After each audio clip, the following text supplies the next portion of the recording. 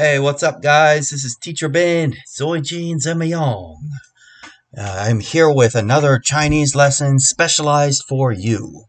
In today's short lesson, uh, we are going into my first installment in the ongoing series of talking about uh, being fat uh, in the Chinese language. Let's get started.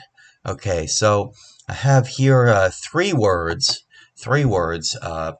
So let me just give some give some cultural insight here to uh, what it means to to be fat in Chinese culture. In fact, it's not like American culture where we can go, "You're fat," and it's gonna like stab us in the heart. You know, that's not not the way Chinese uh, act about being fat. In fact, you can you can kind of drop this uh, drop this adjective on somebody. Ni hun pong. Pong is fat. So um, you can kind of drop it and it goes over a lot better than it does in America. That being said, you can probably say it a little bit more cordially with these three adjectives. You can kind of go around the fact and, uh, okay, so you can call them plump. Plump would go over much better in Chinese culture. Um, so, uh, kind of the American spectrum is over here uh, Chinese spectrum is in the middle, and this is even a nicer way to tell somebody you're a little bit plump, and that is Feng Man. Feng Man, give it a try. Okay, Feng Man. All right, and then the next one is going to be Chao Zong. Chao Zong is overweight.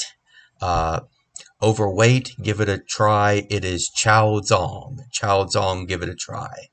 All right, so so this one is uh, Another one, it is fa fu, uh, fa fu. So fa means uh, happened, and uh, fu is like happiness. So happiness happened.